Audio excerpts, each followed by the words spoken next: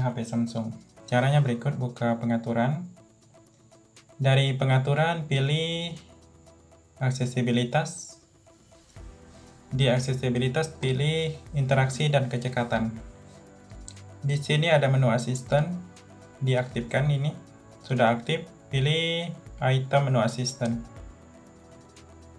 Ini tombol kembalinya, ini kembali, pilih buang, jadi sisakan satu saja, kembali, pilih Nah, yang ini. Ini ukurannya bisa kalian sesuaikan kecil, sedang, besar. Jadi ketika kita ketuk di sini kembali, nah bisa kalian kembali. Jadi kembalinya itu bisa kita ubah-ubah di tempat tertentu.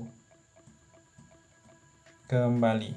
Jadi seperti itu, silahkan dicoba untuk mengaktifkan.